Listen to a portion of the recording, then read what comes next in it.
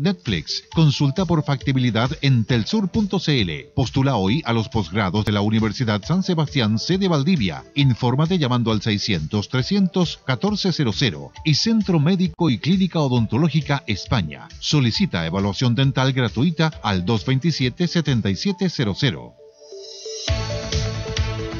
10 de la mañana con 17, estamos haciendo mañana de noticias en El Conquistador, en la región de los ríos, 95.7 es nuestra frecuencia.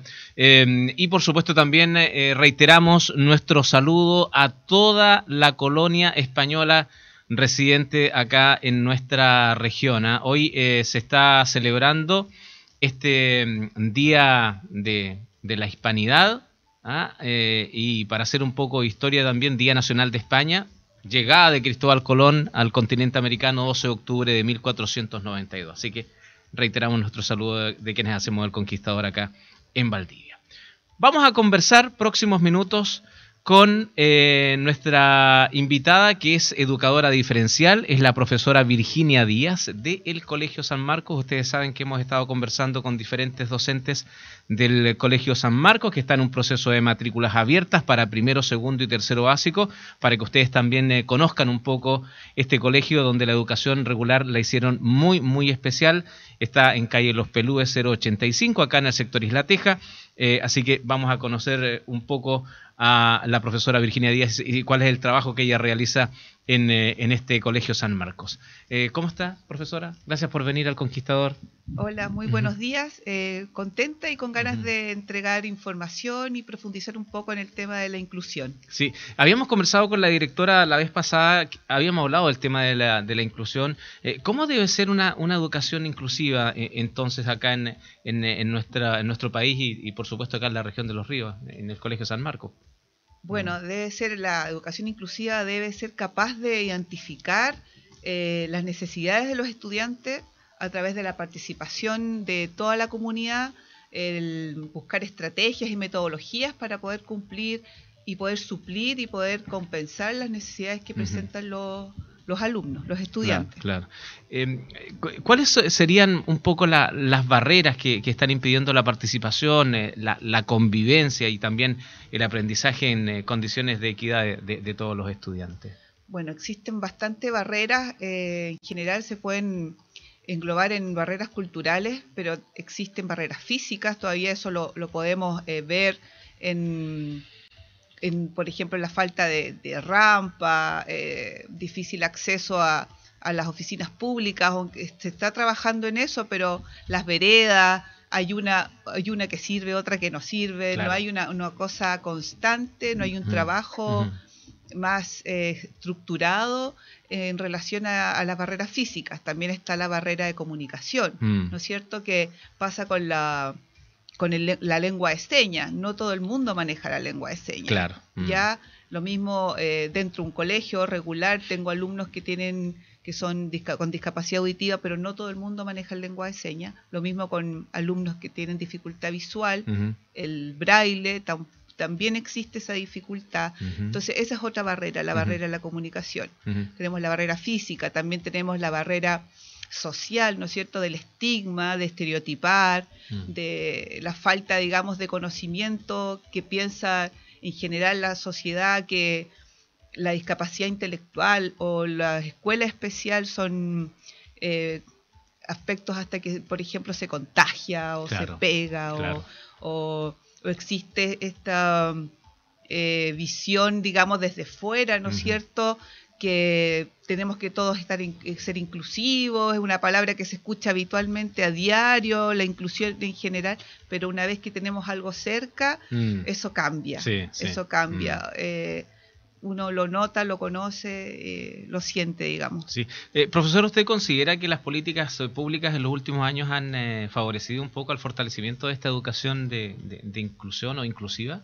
Sin duda, sin duda, se ha trabajado bastante estamos en proceso, falta, falta mucho, eh, sobre todo en la educación regular, ¿no es cierto? Se habla mucho de inclusión, de codocencia, de trabajar mano a mano con la educación básica y educación media y la universidad también, pero falta preparación más de la base, ya, porque esto surge eh, de una forma, de un día para otro, Mm. algo así, pero falta que el profesor, digamos, esté más eh, abierto, capacitado, porque no nos han eh, capacitado en aquello. Entonces nos llega de repente niños muy distintos a los otros, entonces Mm. se, se complica un poco el desempeño en aula. Claro, hay, eh, hay barreras, pensamos en eh, culturales, psicosociales, eh, que dificultan un poco la inclusión. Cu- ¿Cuáles ve, ve usted? Bueno, está, está la barrera, digamos, que es importante el lugar eh, donde tenemos a nuestros niños, ¿no Mm. es cierto? Se dificulta eh, el acceso, por ejemplo, a la salud cuando no existen los medios económicos para poder eh, eh, trabajar en ello. Eh, los consultorios a nivel, por ejemplo, de, de red eh, de salud pública están muy preparados, existen muchas terapias, eh, mu- muchos terapeutas y profesionales de apoyo, pero eso diría que es la principal eh, dificultad, el poco acceso a la salud o a las terapias que ayudan bastante. Sí. Nosotros como colegio facilitamos el transporte, por ejemplo, a los, nuestros alumnos recorremos Valdivia completo, Claro. ¿ya? Mm. Eh, y un transporte gratuito. Exacto. Ujú. Bueno, y yo creo que es una de, la- de las barreras, aparte de lo social, ¿no es cierto?, del el poco acceso o dificultad acceso a la salud pública de calidad en- Ujú. con respecto a la, a la discapacidad,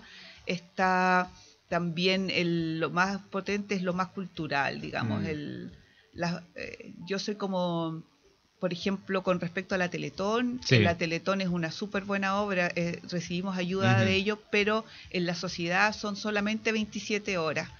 Eh, para nosotros es un trabajo de Diario, 365 claro. días y mío hace 23 años que yo trabajo Sí. en educación especial, Claro. pero para el resto de la sociedad son Mm. solo 27 horas y ya el Claro. otro día Se olvida. Nos no, y- y, lo otro ¿no? también que en, en el Colegio San Marcos, yo me he dado cuenta, porque son vecinos acá de la radio, eh, que no solamente se trabaja con los niños, sino que también con los padres y apoderados, porque el, el- el trabajo que hay que hacer en casa también...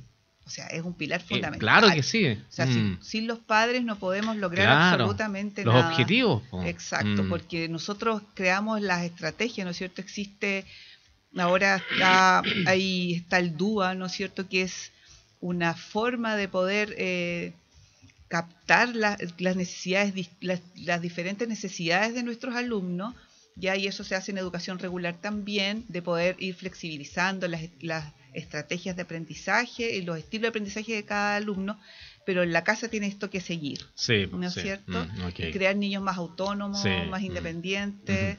Y nosotros, bueno, tenemos educación regular, partimos Sí, al revés, estamos claro. haciendo inclusión al revés. Claro. Y nuestros niños de educación regular no hacen diferencia con nuestros alumnos de la Sí, escuela especial.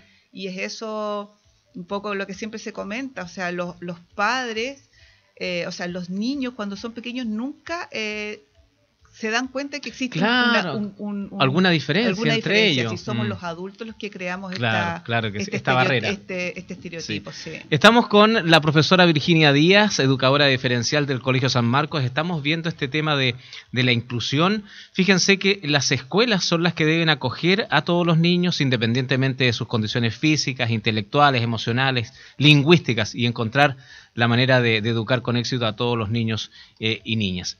Eh, profesora, ¿e- ¿es posible generar procesos de enseñanza-aprendizaje en donde todos los niños, independiente de sus particularidades, puedan aprender?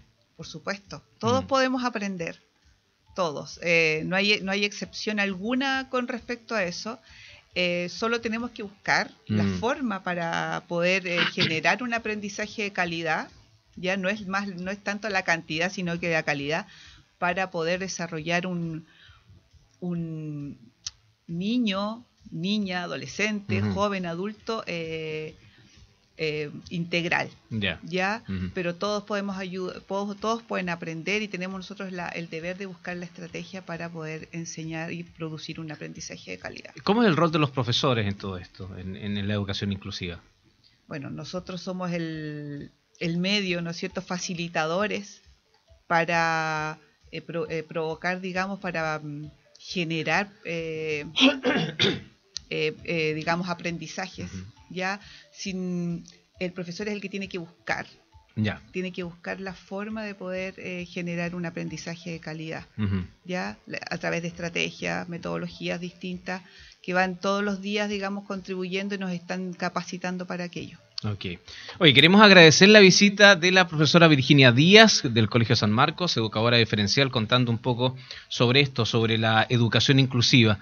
Ah, muy importante. En el sistema educativo, el, el que debe cambiar para poder contemplar la diversidad en las aulas y no al revés son los establecimientos educacionales. Esto es lo que entendemos por, por educación inclusiva. Colegio San Marcos, si ustedes quieren eh, traer a sus hijos, eh, es eh, donde van a poder encontrar la mejor red de apoyo para obtener una educación integral. Cuentan con un equipo multidisciplinario permanente de profesionales, a educadoras, profesores, psicólogos, terapeutas, fonoaudiólogos, kinesiólogos, todos expertos en el eh, logro de aprendizajes significativos. Colegio San Marcos, donde la educación regular la hicieron especial para que ustedes eh, los eh, conozcan, están en calle Los Pelúes 085 Isla Teja, su teléfono 632 229313 632 229313 www.colegiosanmarcosvaldivia.cl www.colegiosanmarcosvaldivia.cl Profesora, muchas gracias por venir.